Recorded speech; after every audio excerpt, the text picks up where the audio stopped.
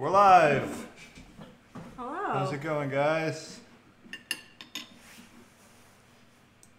We got Murder She Ate, a Wednesday tradition. Here's, do you want a fork? No. Oh. Okay, so what's new, guys? Got some cases. The one I'm doing today was recommended by longtime viewer Ketonement. Also, can you hear us? Because last time the audio was muted for like two minutes, maybe a minute and a half. And I'm hoping the like lag issues and stuff is fixed, but I don't know. I have all my windows closed basically.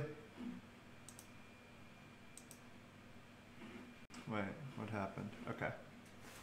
And for those of you that are new to this, this is nothing really about keto except that we eat keto foods for dinner.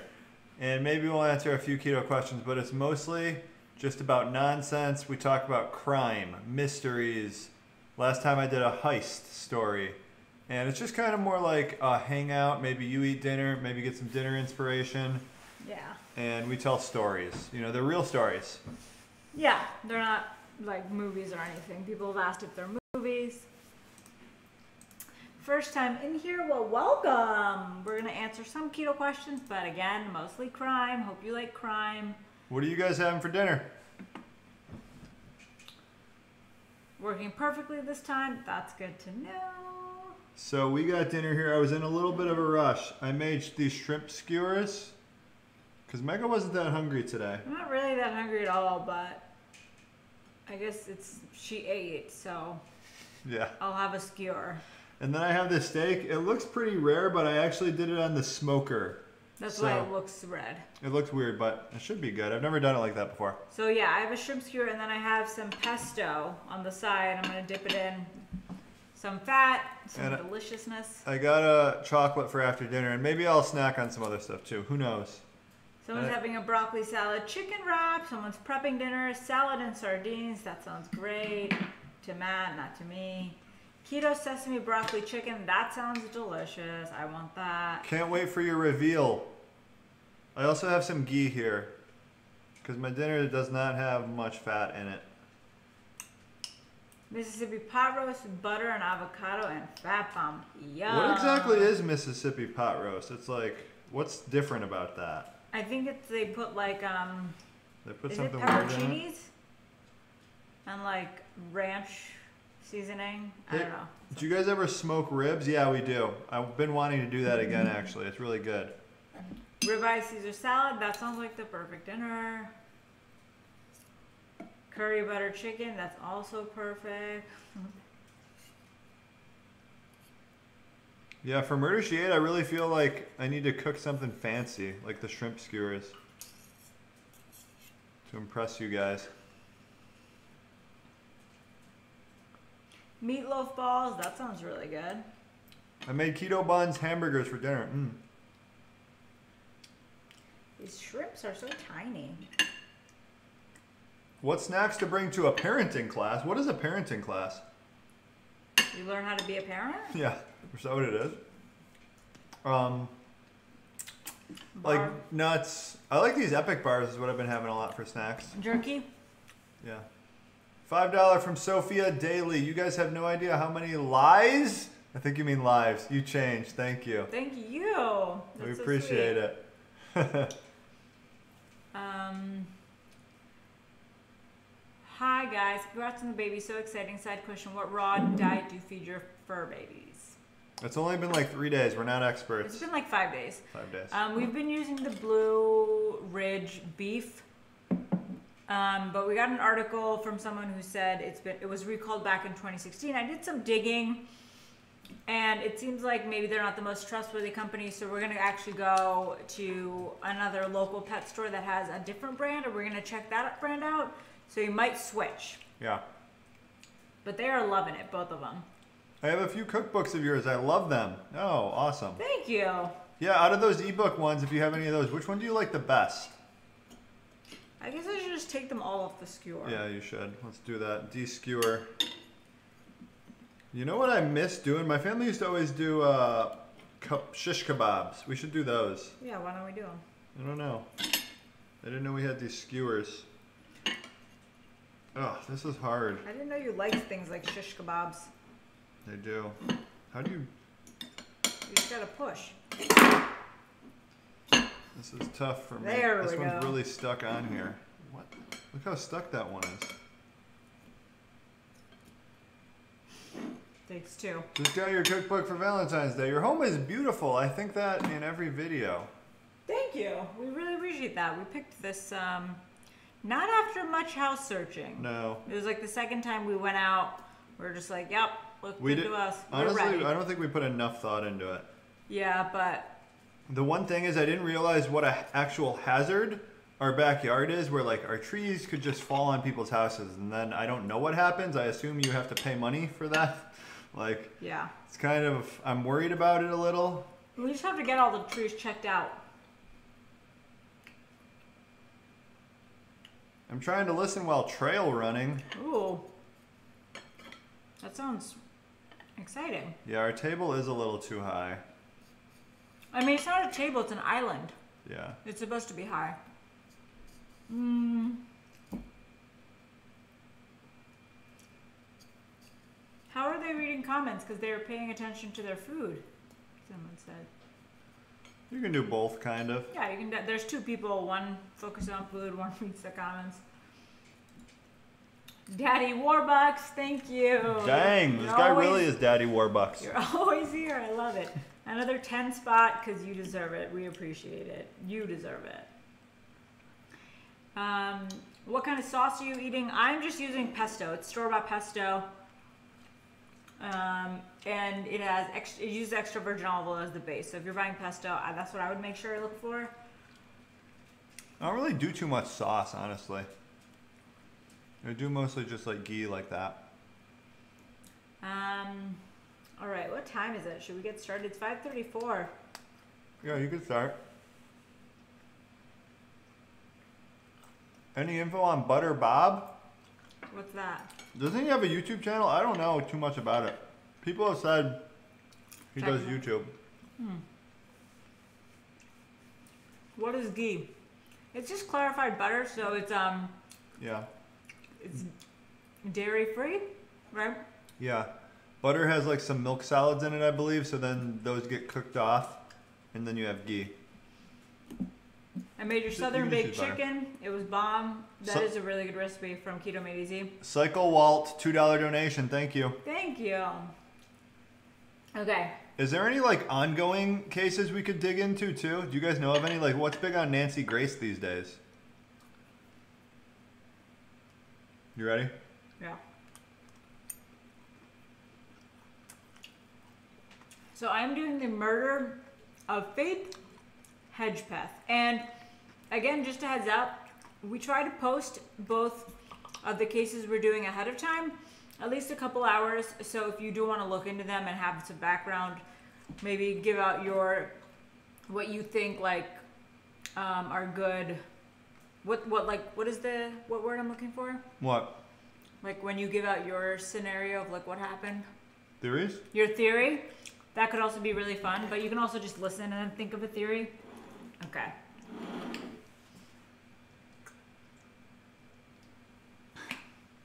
$2 donation from Kaylee Jepson. Are you related to uh, Carly Rae? Case suggestions. The Jessica Chambers case. Ooh, Did you know I've that heard one? of Jessica Chambers actually. I think I've heard of it too, but I can't remember. Yeah, I'll have to look into that. Thank you. Okay. So the murder of Faith, Faith Hedgepeth. I'm, I'm just going to use Faith. So Faith was found murdered at the age of 19 on September 7th, 2012, in her apartment in Chapel Hill, North Carolina. So at the time, she was a junior at the University of North Carolina, and she lived in an off-campus apartment with her roommate Karina Rosario, and I'm going to refer to her just moving forward as Rosario. Okay. So Dead in her apartment. dead in her apartment. Yes. Okay. Who found her? Did we get to that? Um, no, I didn't get to Okay. that. Uh, so for a short time, uh, there Rosario had a boyfriend named Eric, and he lived with them. But he became really abusive towards Rosario, so they actually ended up breaking up, and he moved out. Okay. Totally normal. Not normal, but yeah.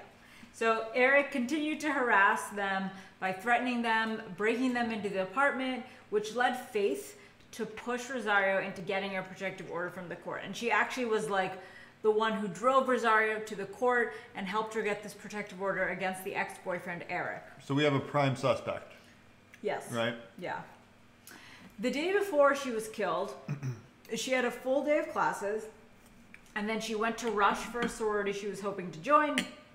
The, the sorority was historically Native American, and that was her background. She's Native American. Yeah, so it was very close for her, and you know, it was it was something she wanted to deeply be a part of. So she left the rush at about 7:15 p.m. and she went to the library with her roommate Rosario.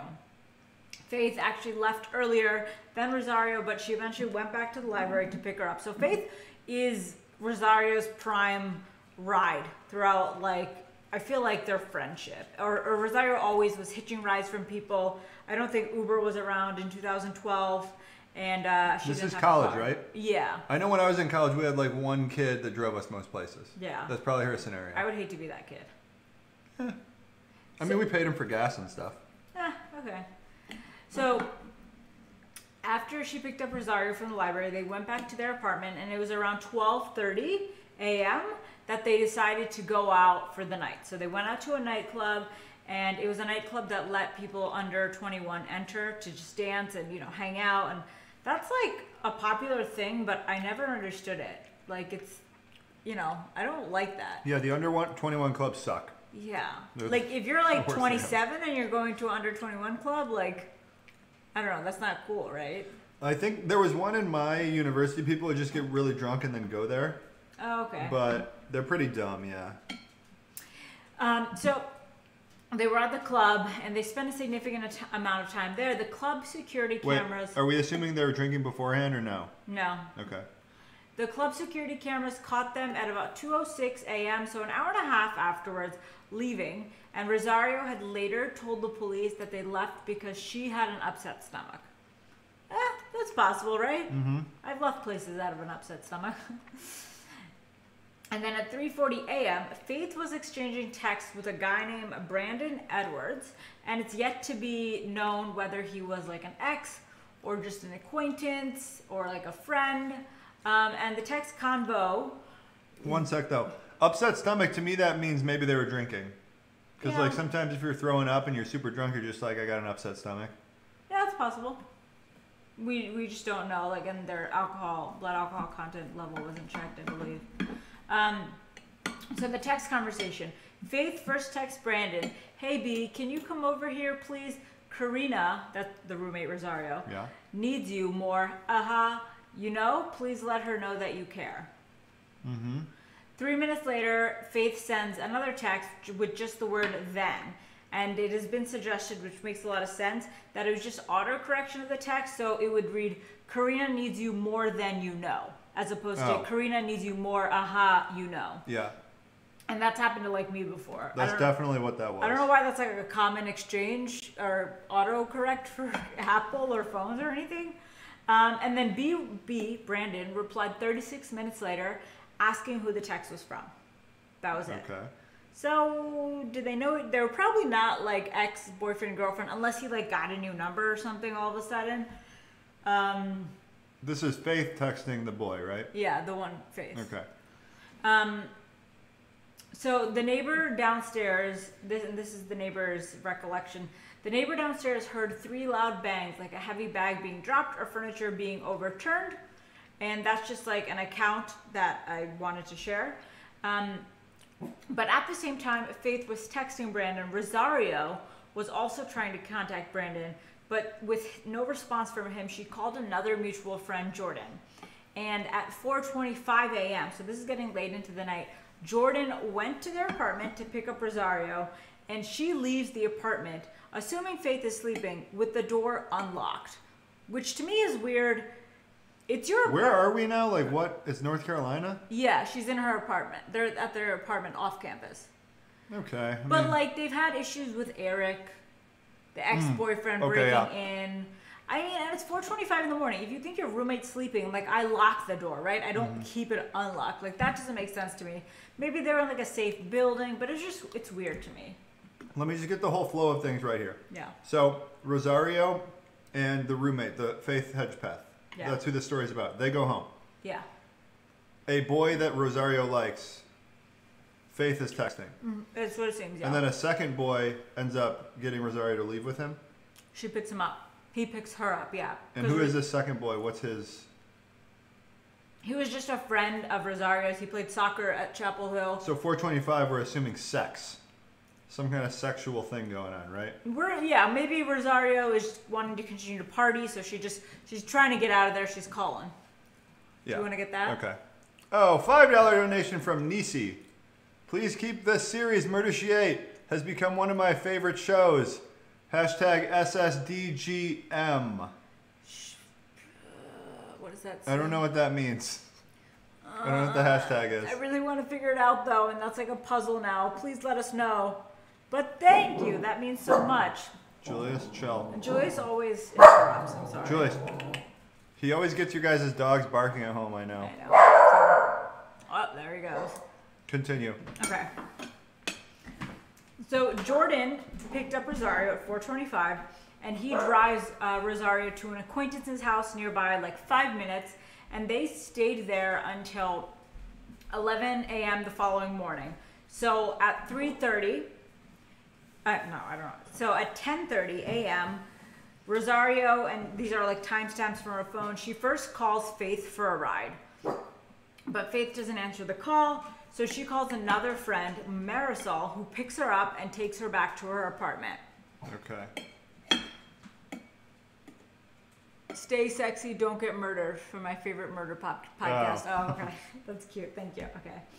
Um, so Marisol and Faith, uh, Marisol and Rosario get back to the apartment, and Rosario's calling for Faith, like seeing if she's home, but there's no answer from her. So they go into her room to check if she's there, and they find her on the floor, leaning against her bed, with her shirt pulled over her face, and she was covered with a blanket also, and had no clothes on from the waist down. Okay. There was also And she's dead, I assume. Murdered. yeah. Yeah. There was also a big pool of blood by her body and a splatter on the wall and the closet door. So Rosario panics, calls 911, and the operator on the other end stays on the line, says to stay for Rosario to stay on the line because she doesn't want her to be al- alone. So Rosario says okay. And maybe she's panicked, but like she wasn't alone. She was with Marisol. So I don't know. If, I guess I would have stayed on the line, but it would have also been like, I'm not alone. I'm with my friend Marisol, but I'm gonna stay on the line. Yeah. You got to stay on the line. But all she I said, mean- yeah, you stay on the line, but wouldn't you say, tell the operator, like, I'm not alone, I'm with someone else? Yeah, but maybe you're just really flustered. Like, who knows? But, yeah. But yeah. all she said the, was, okay. The idea is that there could be someone still in the house, right? So if you're alone. Yeah, she didn't want her to be alone. Okay. So that's really all that there is. I mean, prime suspect has to be the ex-boyfriend, right? Eric, yeah, that, that was my Like, it's totally point. his style to just be like stalking her at 4:30 a.m. I would imagine, and then you see roommates leave. Or stalking just the apartment itself. wait- Yeah. yeah. So the investigation. The details of the invec- in- investigation are actually never disclosed publicly um, at first, which is weird. And the town, uh, um, wait. Oh, and the town of Chapel Hill, so Chapel Hill and the college itself, they obtained a court order sealing on all the records that were collected. So they didn't want any of the information about uh, faith being provided to the public, which to me, I don't know. Two years is a very long time because, like, don't don't you think like there's probably people who might be not only suspects but like they've seen what has happened or like they saw her at the club more than the security camera. I think it's a balancing act of like you want to hold some info, so then if you get a suspect, you can ask them, or someone confesses or something. You have to have info two that the years, pu- yeah, you have to have info that the public doesn't know. maybe like six months to a year. No, no. Every case has certain info that the public doesn't know about. But nothing. We didn't know Nothing. anything about her probably- body, about just about anything, like about her Yeah. whereabouts. They should probably release some stuff. I would imagine, right? Yeah. Like her parents didn't know anything about her and what had the autopsy. They had no clue about the autopsy. Yeah, I think you get to know about that. No, they didn't. Oh, okay. Everything was sealed according to court order. I'm not sure what the reasoning was that they gave the court to like say okay to this, but it was.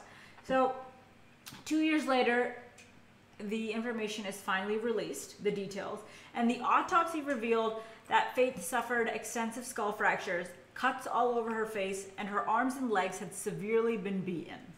That's pretty intense. So was there a knife? Was she like attacked with a knife? No, some say kind of like? Wikipedia said it was a rum bottle, but like I feel like in in looking at this case, there wasn't much exposure of this case. Like I don't think anyone here might have heard of it. And the the police were obviously and like the town was trying to keep it under wraps. It was just it's very weird that there was no like exposure to something like this because it's on a school campus. You would think like Yeah. if there's a murderer out there or a rapist or whatever, I'm sure everyone on the campus knows about it, and they're like talking details of it. Yeah. Um, so police also found semen of her semen inside of her, but couldn't determine if she was sexually assaulted. But I'm gonna go with she was. Why? I don't know. It just it's her her clothes from her waist down were off. Yeah. Her face was covered. I feel like that's just like But a can, can it be from like sex within 24 hours prior yeah. to the? It could have been throughout that day. She's a college girl. She was busy. She had classes all day. She went to Rush, then she went to library. Yeah. So we know like what she did that day, and she was very busy. Someone said you know when you've been watching too much Keto Connect when you find yourself saying both with an L. Both. Um, and also there was DNA that matched um, the DNA of the semen throughout the room, like in other places. Okay. So I don't know what to me that says at this point. Not too much. Oh, I guess to me that says no, because she could have just had sex in her room with that same person, right? I guess. Um, so there are a couple pieces of evidence that like are interesting to note, like really think about. The first one is Faith. Oh no, a voicemail that Faith left um, on the night of her death to a friend, but it sounds like a butt dial, and you can actually go and listen to it. I listened to the entire thing, but it sounds like it was from the club since like in the middle of like all this ruckus, you like hear rapping, and it's found out to be that the song that was playing was "Booty Work" by T-Pain. Um, and the also, also the timestamp of when the call was made was 1:23 a.m. Okay. So according to the timeline, she is at the nightclub. So the I don't put much weight in that. It you know, sounds like it is about that. You can't make out any dialogue. no, there's a there is a lot on like Reddit, on like other You- oh. places. oh. Because if you're actually talking into the phone and you're in a club, you can hear pretty easily that it's like a person talking into a phone. It doesn't sound like a butt dial. Yeah, no, it's definitely a butt dial, but you can kind of tell. Like names of people. Yeah, so it sounded like a fight between Faith, another female, and then there was also two males. It and- sounded like a fight. yeah, Okay. and one was potentially the bouncer, like you need to get out of here, or whatever. So drunk, for sure, drunk. I would imagine. Yeah, and like the one female seemed like jealous. And so this is just one guy who like encrypt not encrypted it, but like he listened to it and he could hear it and he like typed everything out. And so like that's the account. This wasn't like dug deep into like maybe True Crime Garage does, you know, like that would be good if they did this. Um so It sounds like it could be a lead though. There's some kind of fighting. Maybe Yeah. you're super drunk, getting kicked out of the nightclub. And you can apparently hear the names Eric and Rosie in the audio. So when I listen to it, and the only ways you can listen to it is by seeing the um, the subtitles. So like, even if you don't hear it, like you read it, so it kind of like biases you. Yeah. Um, But if they did get kicked out of the nightclub, I feel like there'd be memory and a record of that, or maybe, right? I mean, so The bouncer would remember. So the one thing about the audio is that in the beginning, like the first, it's a, it's a pretty long butt dial, but in the beginning, there's no music at all. And then in the middle of the call, the music comes in. So it's as if maybe they were outside where the mm-hmm. bouncer is, and then she went inside to try and get away. Mm-hmm. Because you see her, say, you hear her saying like, "Get off of me, ow!" And this other girl is like verbally abusing her and maybe like hitting her because she's saying "ow." Mm. But like also, I, I was reading all the dialogue that was written for the audio. Okay, but she's definitely. Mm. So, one sec. So she's for sure alive at three whatever texting someone, or it's it's, it's at least her phone, right? Yeah. Texting Brandon. Yeah. So she doesn't necessarily have to be alive at like 3:45 a.m. texting. That But- could be Rosario. Yeah, it could be. But and it's She could be dead in her room at that point. Yeah, Rosario could have done this. I'm leaning maybe Rosario's a suspect now. She's a suspect for sure. And we got a one dollar donation from Tylen Yardas. Thank you. I'm actually gonna say so. Eric is the abusive. No, Eric's not the abusive. He is. Eric's the abusive ex-boyfriend. Rosario is the roommate. Yes. I'd say those are definitely top two, and at this point, I might even say Rosario is my top, just based on the vibe I'm kind of getting from her. Is like, I don't know, jealousy, fighting, maybe like. I You're mean, the- getting that vibe? Yeah, I oh, assuming that Eric and Rosie were actually the names spoken in the audio. Not just that, even the text sent from uh, the the main the girl who Faith? died, Faith's phone. They were like asking, basically trying to get Rosario to hook up with some guy, right? Yeah, well, it said like Rosario needs you. Show her you care. I feel like Rosario text sent that text. That's my just gut feeling. Maybe. So the second piece of evidence was that there was a note found near her body. You can also look this note up, and it says like in chicken scratch, not chicken scratch. There's a note next to her body. yeah, it's you can read it, um, but it says I'm not stupid, je- bitch, and then jealous. And that's a note next to her body. So I mean, are we sure this is associated with the murder, or this could just be No. randomly there? It's not. It could just be something also to like throw them off the case, right? To me, yeah. Because the police did put a lot of effort into this note, assuming it was a part of the case. okay. I Um, would assume the same, Yeah. and that strikes me as something more Rosario-like. Or just like another female for sure. Yeah, sounds like female. Because, like, why would she say jealous? Why would she? Yeah. Um, there was no blood on the note either, just to note. And then it could. It was thought that it was used to distract the police more than actually the person who killed Faith wrote it and left it there. Because, like, if you, you, I don't know, it just doesn't make sense that you would leave that note after you kill someone, right? Doesn't make a ton of sense, yeah. Um, Tylen Yard has donated two dollars again. Crimes on campus lower college ratings. That's why. Oh, so there's some Hmm. That's a good incentive. school, isn't it? North Carolina. Yeah. I think it's decent. It's a good law school. Is it? Yeah. Okay. So 2020 did a DNA profile a year later, and or maybe it was the two years later, and they released a generated image of the male. Um, pretty generic, except you know he was like dark skinned and Can DNA profiles tell you what they look like though? I don't know. It can tell you like probably their skin color. So he was either very strongly Native American and European mixed or Latino. I don't really know how they determined that, but they were 80% confident that he had olive skin, dark hair, and very few freckles. I also don't know how they determined that, but there's a sketch you can also see online of the person they thought it was. but it's not even a sketch based on like eyewitness testimony. It's a no, sketch but it was based a legit like person. It was like they drew your face. That's weird. Yeah, That is kind of weird. So Chapel Hill named no suspects after interviewing 2,000 people and doing 750 DNA tests. They thought it was someone who knew her well, and they had actually narrowed it down to 10 people. And supposedly they do know who it is, but they don't have enough evidence to pin it on I that believe that. person. I mean, I don't know why. I mean, why don't you believe that? I guess. That whole paragraph you read is just weird to me. Like they narrowed it down to ten people that supposedly know who it is. Yeah. Like knowing who it is and not having enough evidence to pin on them, that's just the ultimate like out for the cops. To where it's like, oh, we can't really do much now. No, I don't think that's the ultimate out.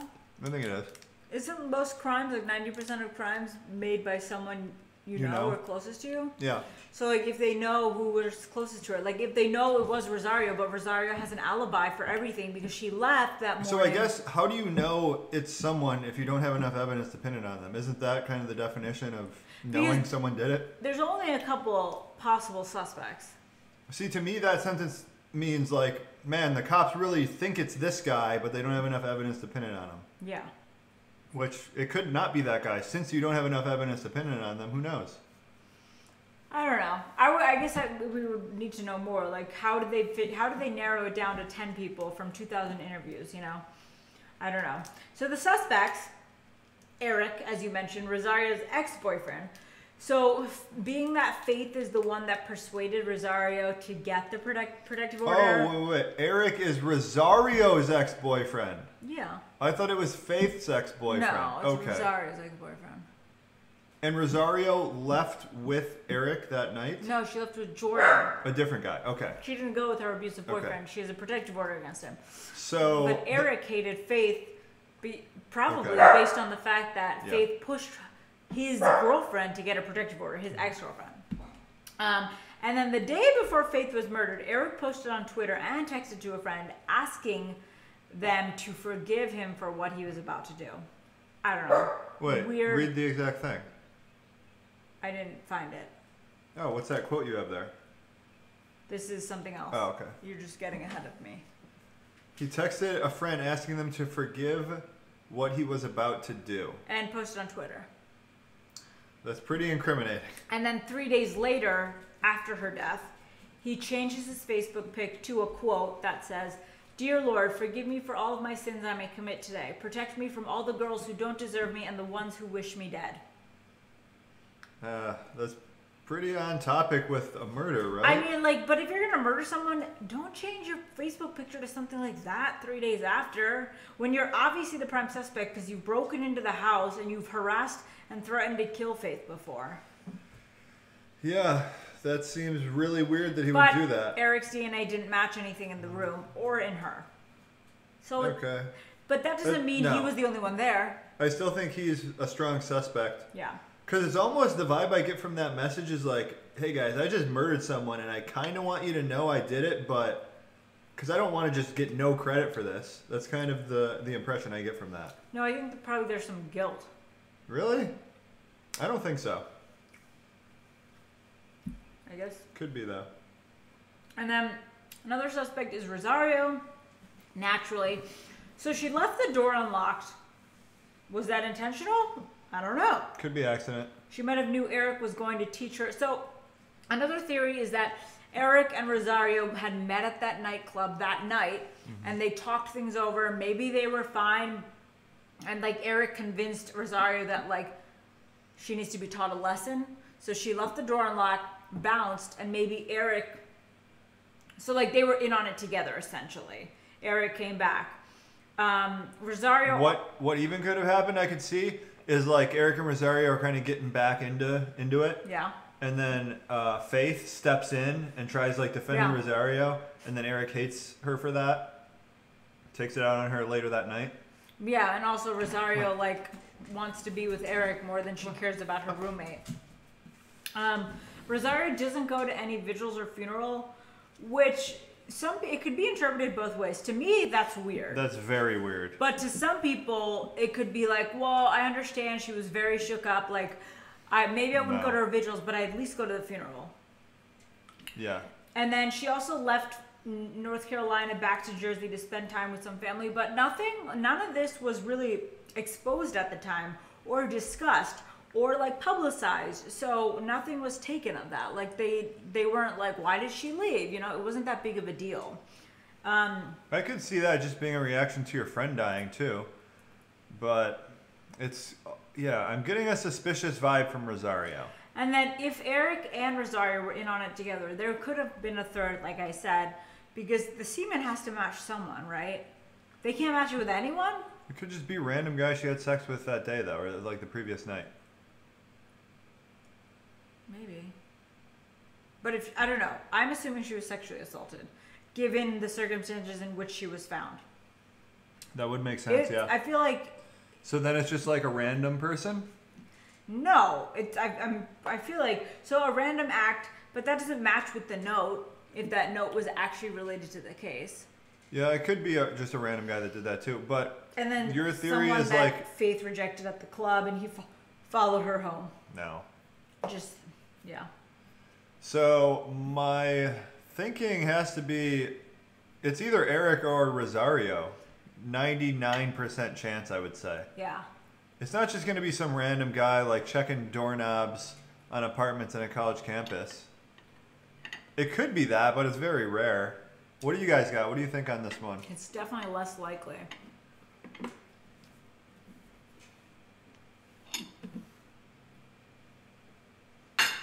I like this rule. This is actually a good rule. I try not to eat things that I can't feed my dog. I like chocolate, but other than that, and coffee. Late to the party. What crime scene are we talking about? This is the murder of Faith Hedge, Hedgepeth. Yeah. That's a hard last name to say. What do you think? Um, yeah, I would say it's. I don't know if if I'm putting any weight on the call, the butt dial, then I'm assuming Eric and Rosario are in it together. That seems weird to me, like a premeditated murder from them two. Not premeditated. It No. might have not been intent to intended to be murder. Maybe Eric went too far. And what would their motive for murdering her be? because like she drove a wedge between them protective order she was probably like hey you're in an abusive relationship like get rid of this guy so he moves out i don't know i mean jealous bitch like maybe rosario was like well she's jealous that i have a boyfriend she doesn't I kind Yeah, of. at 19 like females at 19 i feel like they overthink things like they're like my friends are jealous of me which is like not ever really They do, true yeah. Five dollar donation from paramedic nine three one zero. Love you guys. You help me stay on track. thank you I sort of like the idea that maybe she was murdered early on, earlier on in the night than we're thinking, not like between four and eleven a.m. And then the texts were sent from Rosario using her phone. well they're left leaving the club they're left seen leaving the club at 206 Just the two of them. yeah And Eric may or may not have been at the club. We don't know. right No security footage or anything. No. So we don't know what Eric was really doing at all that night then? Well, and nothing was nothing was released by the cops regarding that. So you know what kind of makes sense to me is like a real psycho type scenario like that Lulu Lululemon murder I did, where the girl just like loses her mind. Uh, the Rosario, they get home from the club, and there's just like some kind of dispute. She feels like the other girl, or she's really jealous of the other girl, something like that. Murders her, uses her phone, dead body sitting in the other room. Uses her phone, texting Eric. You don't know how much Rosario needs you. Because that's like such a text that you would send about yourself to someone else, right? Like, you don't know how much I need you, kind of a thing. Maybe I don't think I would ever do that. I if wouldn't I killed either. someone, I mean, guess yeah, I would. we're normal people. But um, that seems like that's my thought. That's my theory. Yeah, I mean, the best the best thing in relation to that I can think is like, why would she need to leave the house at 4:25 a.m. other than like maybe an alibi? Yeah, that's what exactly. And door unlocked. Yeah, And then the 911 call, a little bit suspect. And I like what Matthew Newbold says. I agree with this. Uh, they are not in it together. One of them would have rolled on the other already. I But- think so. but we don't know if like I don't even know if Rosario was heavily questioned. And if we're thinking Rosario did it, then are we just saying Eric's like Facebook profile and everything is random, just random chance? Or like maybe even because he knows one of his acquaintances died, right? And then he's changing his Facebook profile to that. Maybe it's just some kind of like weird But saying like, thing. "Forgive me for what I'm about to do," like, what was he thinking? I don't know. I We don't don't, know. know. Yeah. Yeah. Um, she could have hired someone to kill her and then left the note when she got back. I think hiring kill, hitman and killers is like very That doesn't happen in college, does it? no, no, no. I, to I don't think it's like and a stuff. high high. it uh, happens sometimes. It definitely happens. Like the only I've I've seen like when they get caught. Yeah, we should do one like that. That's funny. But yeah. Daddy, Warbucks again? Dang, pulling out the wallet. You both changed my life. Thanks. You thank you. But that's awesome. I'm glad we can you know, be of any help. Are you getting tax breaks on these donations, Daddy Warbucks? You probably are. Yeah, right. Charity. Um, Sharon Nichols, thank you for the ten dollar donation. Just got your cookbook. I love it. Starting with keto on Monday. You both inspired me. That's exciting. That's so close. One thing I would suggest is like, and this is what I would have done, and you know might still do, but I highly recommend against it is don't go ham on Sunday. Don't be like, this is my last day because tomorrow I'm kicking into gear. Because I like that Oh, she's about to start keto. on Monday. Yeah. So I'm like, don't like just go super hard and get like Domino's and Krispy Kreme. Like, Yeah. just have a normal day because I think that would make it harder to start on Monday and stay motivated. Maybe have like your favorite food that's high carb. Yeah, but like get pizza, Normal portion. but like don't you don't need to eat like an extra large pie unless that's what you normally do. Of course. Yeah.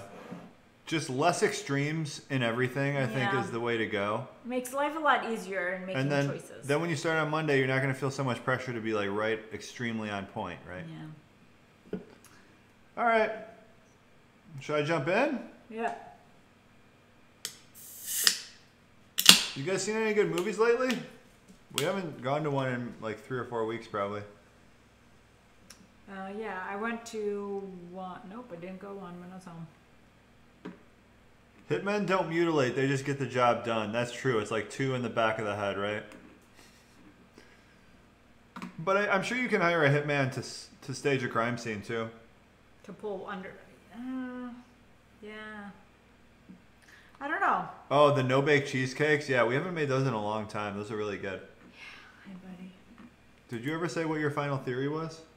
I think they both were in on it. You're funny. It's real. All right, here we go. My story today is Asha Degree, and this is a pretty famous case. I don't know if it's Aisha or Asha. I'm just going to go with Asha. Asha Degree, she's nine years old, and this case takes place in the year 2000. And we are in Shelby, which is a town on the outskirts of Charlotte, relatively rural area. Asha lives at home with her 10 year old brother, her mom, and dad. How old is she? She's nine. Okay. So they were not practicing proper child spacing. That's what happens. Sunday, February 13th, 2000. They went to church. They ate lunch at their aunt's house, and they seem to have a, a good family in the area. Went home. The, the two kids went home with mom. Dad had two jobs, so he had to go into work right after that whole the the lunch. Iki, Ikilla, Ikilla, I don't know how to pronounce her name. Ikilla, the mom. She had a routine. She would bathe the kids before bed, but on this night in particular, seems like a totally unrelated event. A car crashed into a power line, and the power in her house was out. So they couldn't do a bath. They couldn't heat the water, I guess. So the kids went to bed early, and they were planning on doing baths in the morning. Do you use hot water when your electricity's out? If you have an electric water heater, I think so. I, yeah, I don't know. Is that how it works, guys?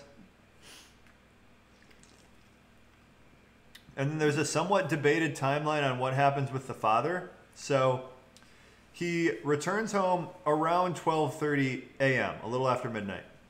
Power's on when he gets home. Power's back on. Now, he either The mom is named Aquila. Okay, she did. Um, so he watches TV and then goes to bed around 2:30 a.m. That's one timeline. So two hours of TV, then bed. Another timeline is he comes home.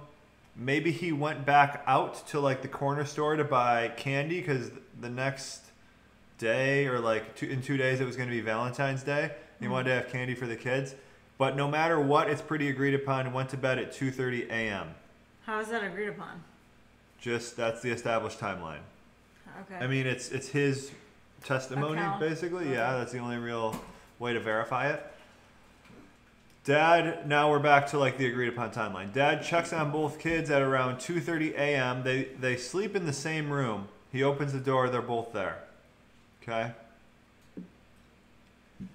The dad wakes up in the middle of the night. This is a bit shaky. And he says he sees Asha standing in their room or maybe like in the doorway, like kind of in the hallway. That's more of the way I interpreted Do it. Do we know what time? No, Okay. middle of the night. She may. The theory is that she was using the restroom before going back to bed. That's what he's thinking. He's like, oh, she's up, go to the bathroom, back to bed. He then hears movement in the room and believes Asha is moving in the ra- moving around in her bed. It's just like the bed creaking noises. Okay. And when you live in a house for long enough with people, can't you just like pick up on all the sounds? You're like, oh, that's mom. She's she just you know Yeah. got out of the shower. Like Miley and Julius, yeah. Yeah. So I take his testimony to be pretty credible if he heard a creaking bed. At 5:45 a.m., the mom wakes up, and typically she wakes up a little bit before the kids, gets the bath ready, and then wakes them up. So she turns on the bath water. She goes into the kids' room. She peeks in. She calls out. Her son immediately gets up. Then the she electricity's already back. yeah, it was back when the father got Oh, home. okay. Yeah and uh, she calls for Asha, and there's no one in bed, no response, nothing's going on. So she's a little concerned. She starts searching around the house, doesn't find her. She wakes up the husband. They both check all around the house one last time. Like I think that's what you would normally do, right? You just check everywhere. Where's this kid? They go. They check their cars. I don't know why they would do that, but they check their cars, and then they eventually check at nearby families, like their grandmother, their aunt. I think they even had one relative across the street, so they check all those, and when they check those and they realize she's nowhere, that's when they're like, "Whoa, okay, something's seriously wrong." And then the father calls 911. It's pretty quickly after they discover the kid's missing, maybe like 45 minutes or so. They do all the checking and then they call. And uh, so there is a 911 call. There's a transcript you can see online, but I just picked out the the key points. You couldn't. There's no uh, voicemail or anything. It's just a written transcript, so you can't get a feel for like how how the dad is is reacting. But the next door neighbor said that they saw a kid on the road last night, just walking on the road, like down the neighborhood road. Her bag was missing and her pocketbook from her room, like her school book bag. Hmm. Oh, and maybe she was in their room to like just look at them one last time before she left. I would do that. You would? Yeah. Because like if you really love them, but you feel like you have to leave, don't you want to? She's only nine, remember? Yeah, is she like an inner city kid though? Like it's different when you live in like a. She's not an inner city kid at all. She's like rural. Hmm.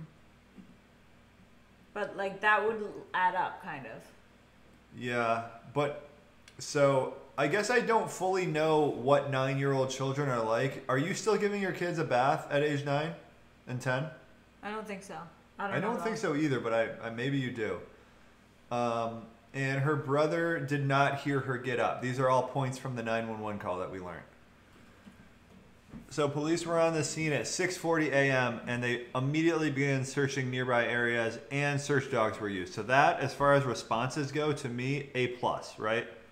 Six she's discovered missing at like a little after 5:45, 6:40 police are searching. Yeah, that's great. A lot of people saying no to the bath thing, right? Yeah.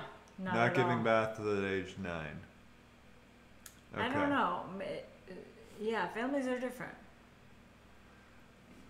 Uh, when the neighborhood starts waking up around like seven ish, they all are like, "Whoa, what's going on?" There's all these cop cars. They start helping search, and police immediately, as you should do, they start treating the house as a crime scene. So they're like caution taping off the house. They start searching through it, and they do not find any indication of a crime being committed. What they do find is indication that she left on her own. That's what they seem to. Their initial Based theory on what's is. missing and like the neighbor saying something. Yeah, based on the sighting of her leaving, the backpack. The backpack missing is the big thing. Yeah. Because if someone took her, why would they take her backpack? Yeah.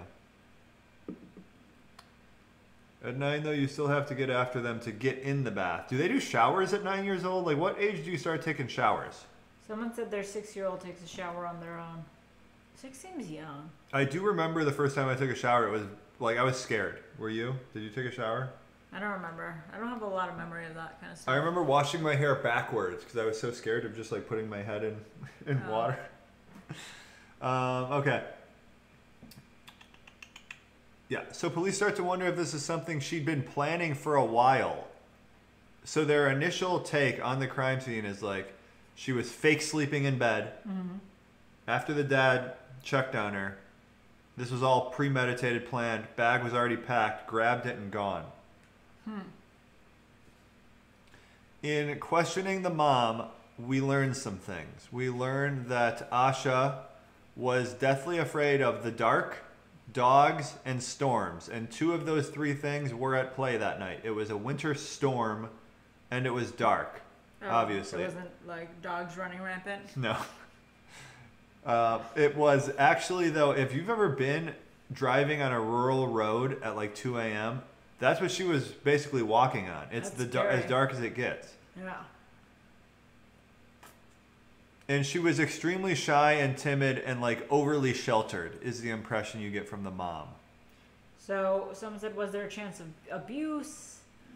I don't know. Like if she was being abused, I There's would, a chance of anything, right? I would imagine her brother was, and she would like want to take her brother with her. I feel like that's how it usually is in like movies or like Yeah. I'd imagine. Um, so the the uh, bath at age nine that and even the the brother is age ten. That goes in accordance with being really sheltered, I would say, right? Yeah, but if it's also like a rural area,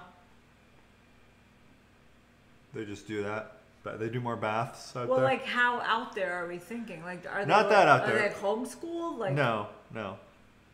It's not like the super crazy countryside. what year was this? 2000. They're they're in driving distance of Charlotte, North Carolina. Yeah, Not I that far. know. Yeah, So- I'm picturing like 1930s. No.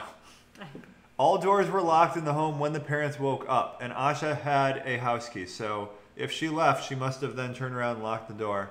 Okay. Which at age nine, I don't know if I would do that. Maybe you would. Who knows? I also find it weird if she's really sheltered to have a house key.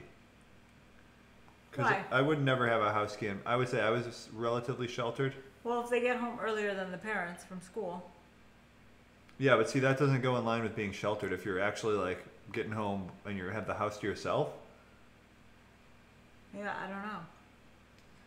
FBI says it appears her bag had been packed well in advance of that night, which I don't know how you really can d- determine that. Yeah, I feel it, like I feel like what we've been seeing, like TV wise as well as like reading case wise, is like the FBI just want someone to blame. They want a reason for it to just be like, all right, we got it, we're done, Sometimes. like rushing it. And one thing I'm always thinking when I hear stuff like this, it's like the parents. What's going on with the parents? Is there any way this could just be a parent cover up type of thing? Yeah, yeah, yeah. Like was she dead before? Like was, did she die at like 8 but the p.m. the, the previous kids, day? the girl walking down the street, or some ch- person. Yeah. So that's the thing. There is actually a lot of sightings of her, which Hmm. I don't think it is the parents, but I'm always suspicious of the parents.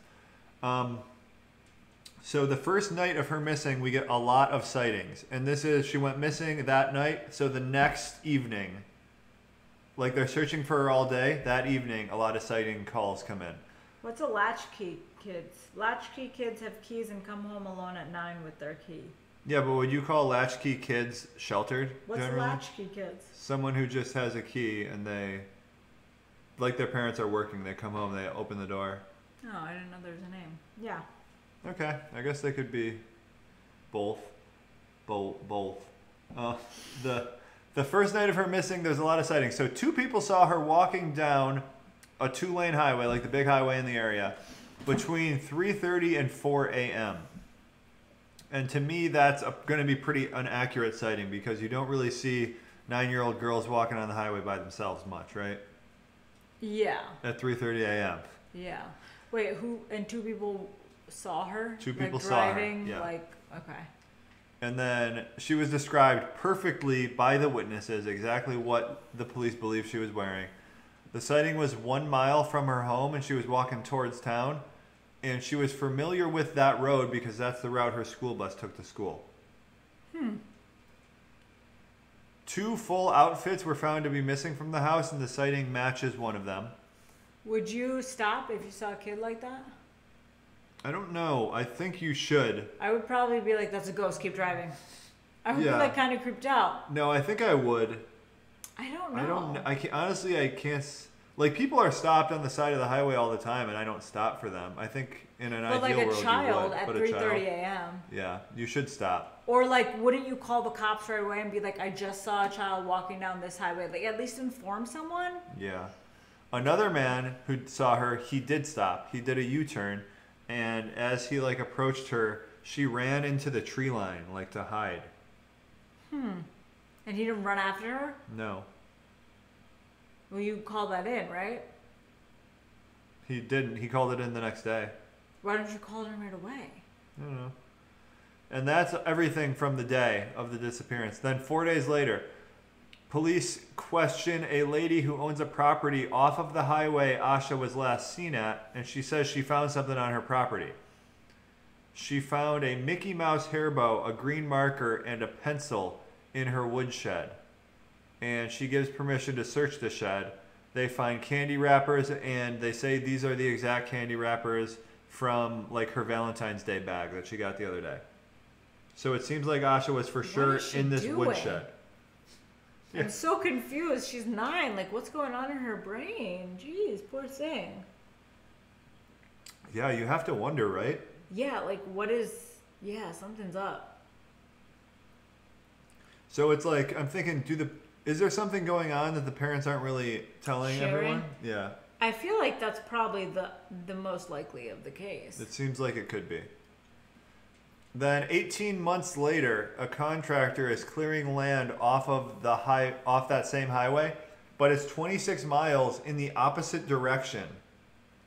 And he finds a buried black trash bag, double bagged, buried under the ground, but like a little bit of it he could see, so he pulled it out, opens it, and it's her backpack.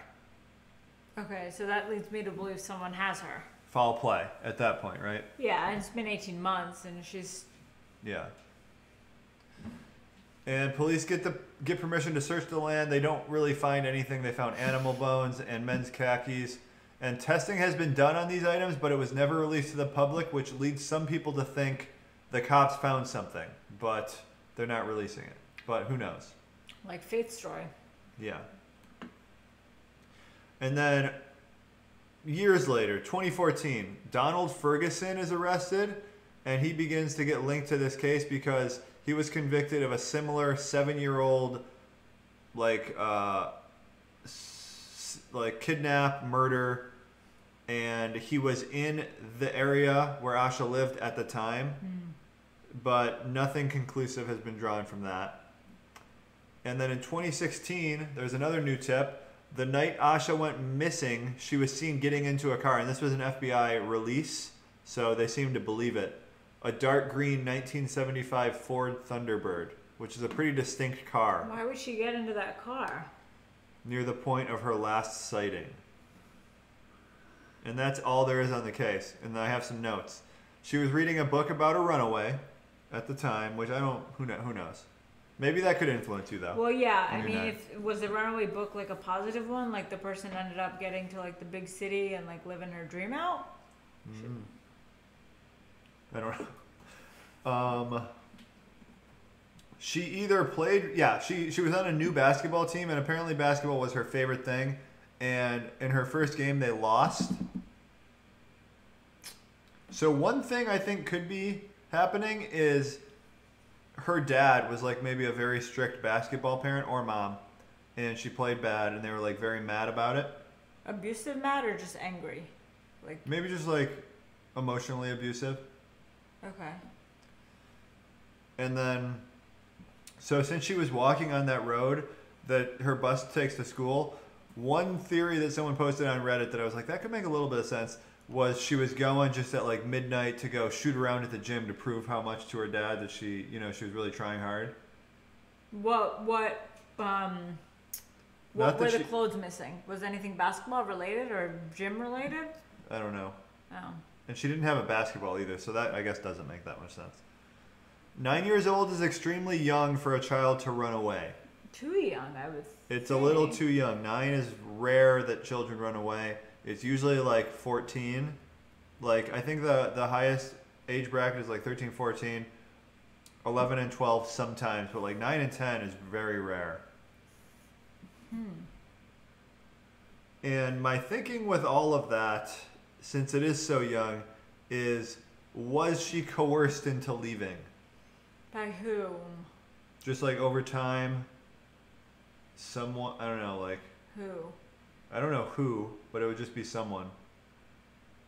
It'd have to be someone in real life, maybe a family member. That's the only person that would make sense. She didn't really have internet access at the time, so Yeah, she's not like running into a lot of older people.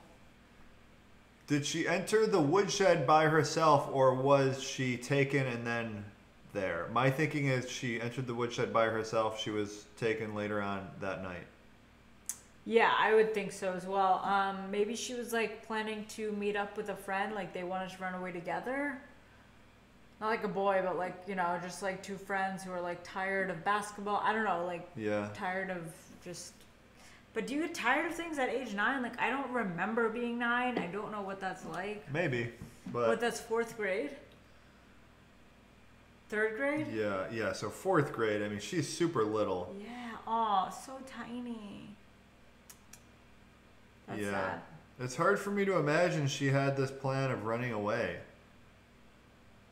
Especially if you're scared of the dark, because when you're in fourth grade and you're scared of the dark, you're actually Scared of the dark. scared to where you can't even really like go out in it, right? Yeah, you can't even like walk around the house. Like I couldn't walk around the I still can't even walk around the house sometimes. It's so dark. I have to run and hit a light switch. So here's the theories. The FBI theory is she left home on her own and was met with foul play. That seems to be the strongest theory. We just don't know why she would leave. Yeah. It wouldn't make sense to for her to live leave on her own like conviction. The only two reasons she would leave, I think, is something the parents aren't telling us, some kind of fight, something like Yeah. that, maybe even abuse, or she was groomed by someone to leave. Parents were abusing her, she ran away. That's my initial thought always. Just like some form of abuse. But like I would imagine if her brother was being maybe she was the only one being abused. It seems like the parents were actually kind of good people, though, from what I've read. Like, dad's working two jobs, going out late at night to buy Valentine's Day candy for his kids. Yeah. Uh, theory two is the parents did it or they know more than they're saying. I don't think they did it because it does seem like she left. She left with the sightings. Yeah, and because there's a lot of sightings. But it might be something like that was going on in the house. Maybe the parents were fighting, and she was like tired of them fight, like fighting, and she wanted to leave. Cause like I feel like divorce really affects kids at a young age. Like I can remember my parents fighting more than I can remember like I don't know showering at nine. Yeah. Cause you remember the those stick out with traumatic things yeah. usually. Sleepwalking? No, I don't think you grab your backpack. You wouldn't Maybe. pack, yeah. though. Um, number three, theory would be groomed into a meetup, possibly by a family member. Yeah, maybe a family member was abusing her. And then the fourth one, a little bit off the wall, is a hit and run. I don't know though, like, if you hit someone at 4 a.m., a little girl, don't you tell the cops? Or, I don't know. I would imagine you tell the cops. What are the? You immediately drive the child to the hospital, right? Yeah, what are the repercussions for a hit and run at 4 a.m. where your like vision is impaired? Do you think you still go to jail for that? Manslaughter, yeah. But I mean, that wouldn't be my first thought.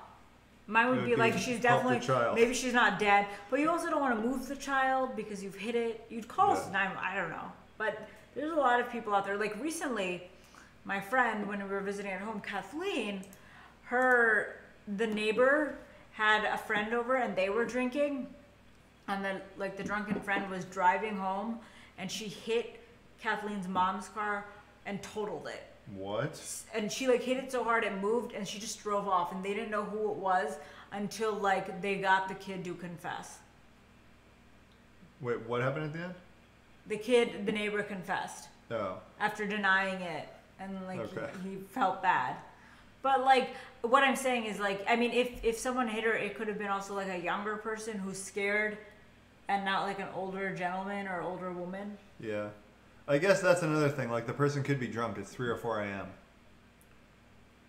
yeah and yeah people freak out sometimes even if they're not drunk yeah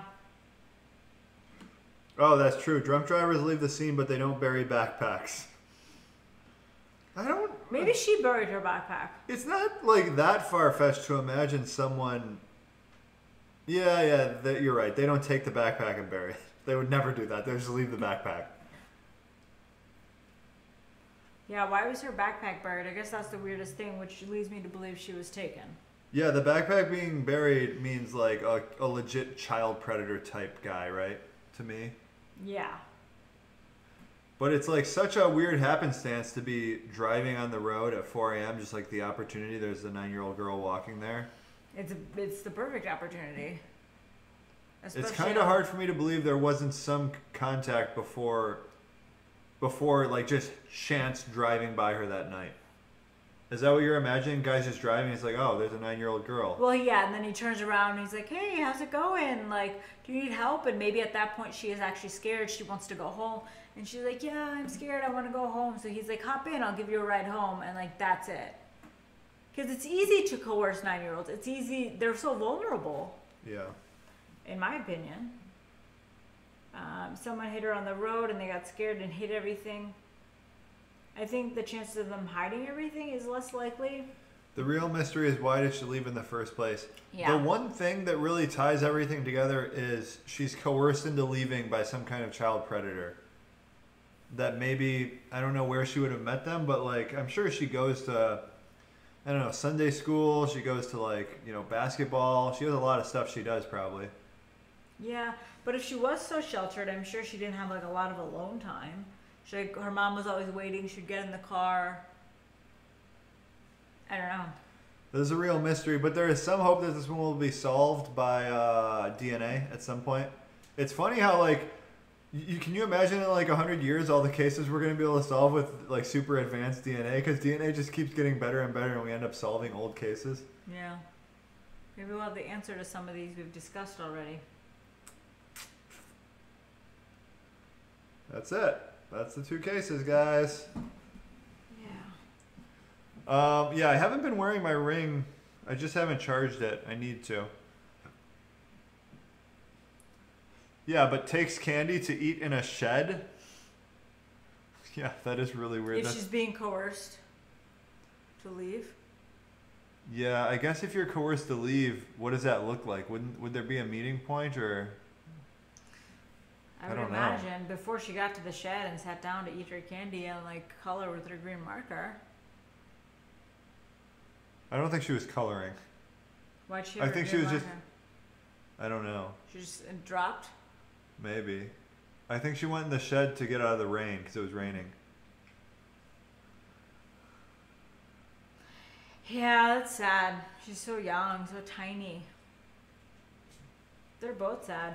Even Faith was really young. 19, super young. Someone said the nine year old could leave hoping for an adventure. She's a sheltered nine year old girl, and all of a sudden she's running away at midnight. I think family did it, and sightings are flukes. Huh. Yeah, Honestly, the sightings could be flukes. I would discount sightings, but I think it's harder for the sightings to be flukes when it's a nine year old girl on the side of a highway. I think that's pretty. Close to the area, and the candy, And the timing of it. And her And backpack being buried. Yeah. She definitely left for some reason. Yeah. I mean. Yeah. Michael Feller, Yeah. thank you for the donation. Great job. Thank you. All right. Anything keto related, I guess we could answer?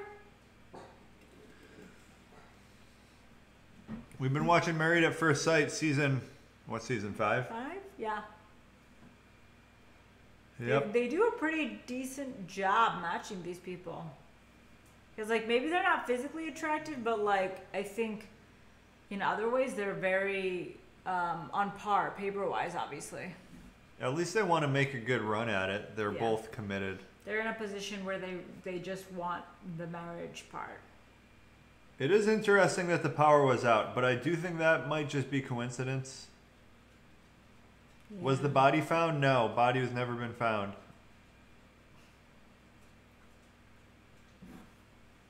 Hi, Betty. How's the baby? Baby's good. Happy and healthy. That shows my guilty pleasure. I don't tell people I'm watching it, but I love it. Oh, we, we share. Because there's definitely a lot of people out there who enjoy it. My I f- can imagine. Couples, especially. this is my favorite Zevia flavor, black cherry.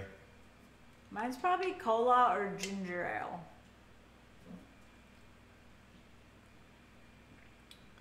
Oh, Matthew, your daughter's 10. Do you do baths with your children at that age? I'm sure he doesn't. Are you bathing your daughter though? Like you wouldn't bathe our daughter at ten. You start feeling weird about it at around like. I mean, like I'd probably bathe our son, but would you bathe our daughter? I think it's less weird for the mom. the mother, yeah. I But at know. age ten, no. I don't know. Ten, I don't know. I don't know what a ten-year-old is like. Yeah. Sally Darling, thank you for the five dollars. Love you, Matt and Megha. Congrats on the Bambino.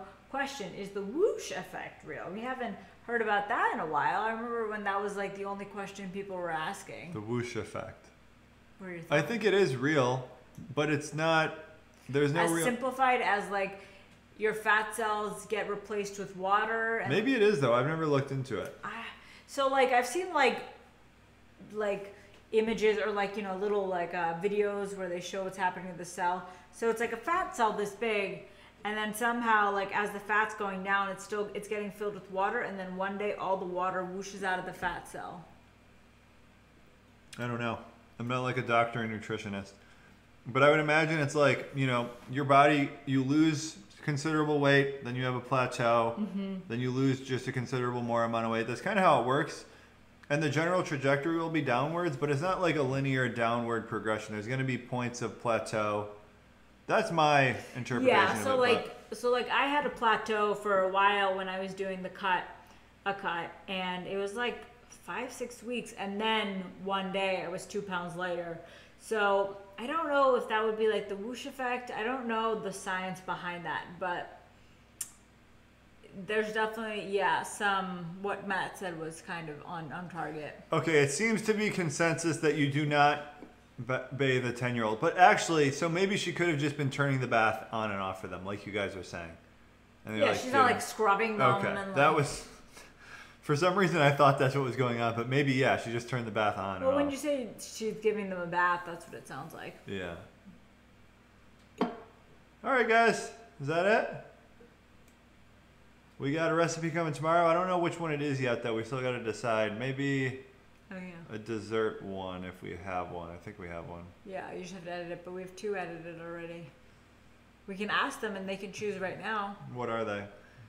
Um, it's the chicken biryani, which is really good, and then what's the other one? It's Isn't not there a dessert or no? no. I can't remember. Cinnamon rolls, someone said. Oh, I wish. We still have to perfect the cinnamon roll. Pre pre workouts like C4 doesn't have sugar, but is it keto friendly? Um, it's not really the best for keto. It doesn't have sugar, but it has a lot of maltodextrin, and with things like supplements, they don't actually have to give you like the nutrition, right? So let me look up the C4 ingredients here real quick. My five year old bathed himself. That seems so young, but that's so cute. Five years old. Oh my gosh. How cute. Actually, the ingredients for so there is no filler used here. What's the caffeine amount? I feel like we've looked at it and it's super high. Explosive Energy Blend, 425 milligrams. It's 150 milligrams of caffeine and then a few other stimulant type mm. things. But it does have like the red 40 in it and stuff. It's not the best, but if you like it, I would say it's not a big deal. Sarah Soto, thank you for the donation. Love watching you guys. Thank you. We really appreciate you being here. We know it's not like a keto dedicated night, but you guys enjoying this and throwing out your theories, we love. We love, love, love. Um, my fun, son refused to get naked in front of me at seven. Oh my god. I would be like, get naked. Would you? You don't have a choice. I don't, I don't know what I'd be like. It's going to be so weird to have full control over another child. I'm hoping the power doesn't go to my head. I feel like it does sometimes for people, right? For parents. Yeah, that's why we have very strict parents. Yeah. Like your parents, for sure. My dad. It's going to be interesting. Um, you should do a spatchcock chicken tutorial. That's actually a really good idea. Can you do a gender reveal? I think we should find out. Wait, are we? When are we finding out? Friday. Friday. But we already kind of know, I think. It was we like a guess by a technician because they can like kind of tell based on like the how your how the frame or like the bone structure of the baby's laid. But um, how should we do a gender reveal? Yeah, you guys got ideas? Yeah, like a simple idea, obviously. We could just do it on Murder She Ate one week. Next week. Yeah. So yeah, you'll just wait. Yeah, we could do gender reveal. Okay. And then talk murders. We should do like baby murders for that. I'm kidding. Jesus. But maybe maybe we should. He always talks about murdered babies and killed babies, and it really, I don't like it. He loves it though. I always do that, and you're always like, I you do your so thing where you're like, Yeah, because like that's not cool to talk about. It's sad. Um, Megha, you should try The Sims 4. It's more playable than Sims 3. Matt told me when he downloaded it for me that Sims 3 was the highest I, I didn't think go. she was gonna look into it. Well, people have just been telling me left and right Sims 4. It's because Sims 4 isn't available on Steam, Oh, but I can get it for you. It's on like the EA game launcher or something. that's so funny. Yeah, you could do Baby Lisa.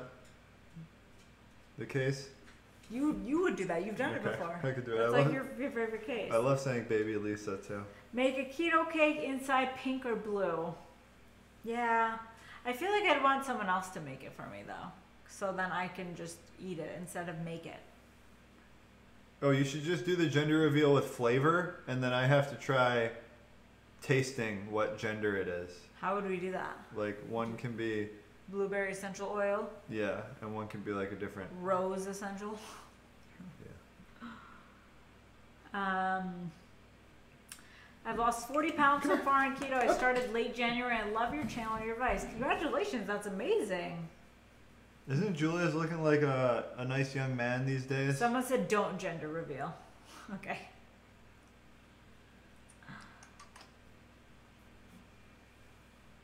Um. Uh, yeah, if the if Samba Wango does custom cakes, I feel like it's just very last minute, right?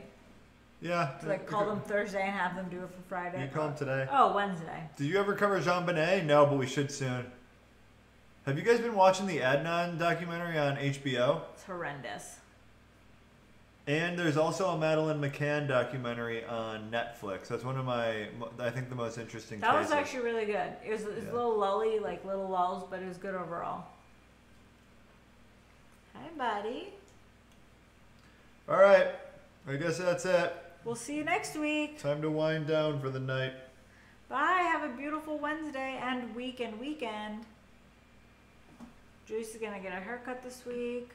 If you guys want to comment uh, cases you want us to do in the future, or if anyone wants to comment video ideas, like informational videos you want us to try doing, Yes.